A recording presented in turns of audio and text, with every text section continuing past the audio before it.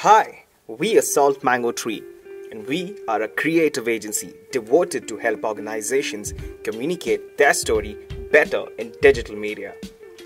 The name, of course, has its connection to a dish called upma, which originated from a famous Malayalam movie dialogue delivered by Bharat Mohanlal.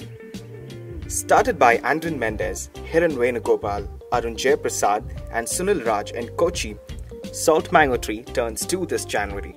Two years, 30 crew members, two offices, and a presence in five cities and a thousand percent growth story. Salt Mango Tree has positioned itself as a creative warehouse.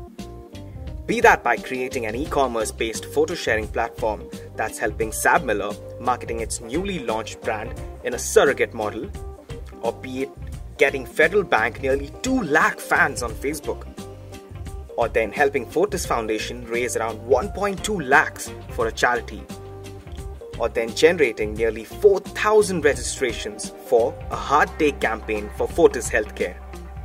We have worked with organizations and brands of all domains the banking and finance sector, hospitality and realtors, the educational sector, lifestyle section, and FMCG products.